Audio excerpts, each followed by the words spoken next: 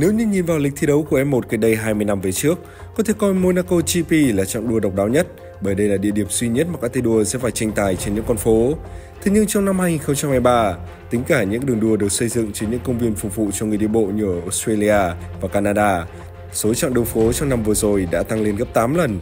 Con số này hứa hẹn sẽ tiếp tục được nâng lên trong tương lai khi vào tháng 1 vừa qua, F1 đã chính thức chuyển địa điểm tổ chức GP Tây Ban Nha từ Barcelona sang một đường đua đường phố khác ở thành phố Madrid. Điều này đã khiến cho rất nhiều người hâm mộ F1 cảm thấy không hài lòng, một phần là bởi đường đua Barcelona, Catalonia mang đậm tính chất lịch sử khi đã tổ chức GP Tây Ban Nha từ năm 1991, một phần là bởi lịch thi đấu ở thời điểm hiện tại đang bao gồm quá nhiều những chặng đường phố. Không thể phủ nhận thì việc tổ chức các chặng đua F1 trên những con phố có rất nhiều những lợi ích. Đầu tiên thì đó là việc đường đua đường phố có thể tận dụng những con đường giao thông có sẵn, qua đó thì giúp cho chi phí xây dựng sẽ nhỏ hơn rất nhiều so với việc tạo nên một đường đua chuyên dụng. Thứ hai là do diễn ra ở trung tâm của các thành phố lớn, nên các trạng đua thường sẽ thu hút được lượng lớn khán giả đến theo dõi trực tiếp.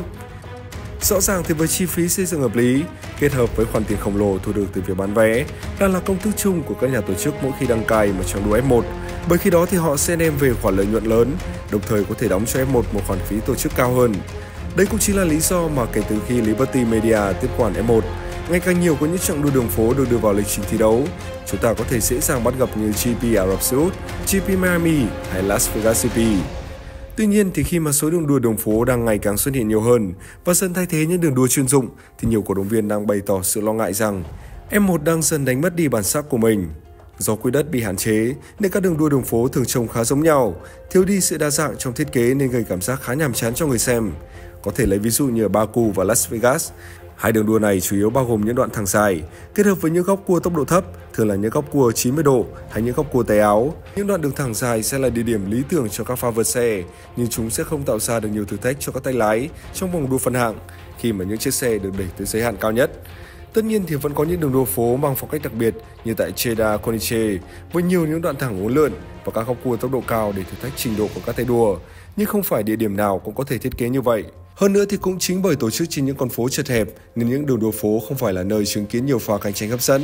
Thay vào đó chỉ là những hình ảnh những đoàn xe liên tiếp nối đua nhau trong mỗi cuộc đua. Hai đường đua ở Monaco và Singapore là những minh chứng rõ ràng nhất khi mà kích thước của xe đua đang ngày càng trở nên lớn hơn. Những con phố nhỏ hẹp ở Monte Carlo và Marina Bay giờ đây đang thực sự trở thành nơi diễn ra những cuộc diễu hành của các đoàn xe, chứ không còn là nơi chứng kiến những cuộc đua thực sự.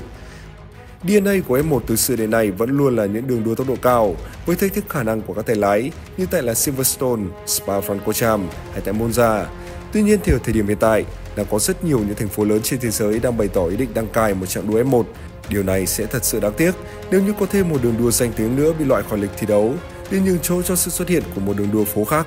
Với với các khán giả của ca cộng, các bạn thích đường đua chuyên dụng hay đường đua phố? Hãy để lại ý kiến của mình bên dưới phần bình luận nhé. Và đừng quên đón xem trọn vẹn mùa giải e F1 2024 trực tiếp và độc quyền trên truyền hình số vệ tinh K cộng.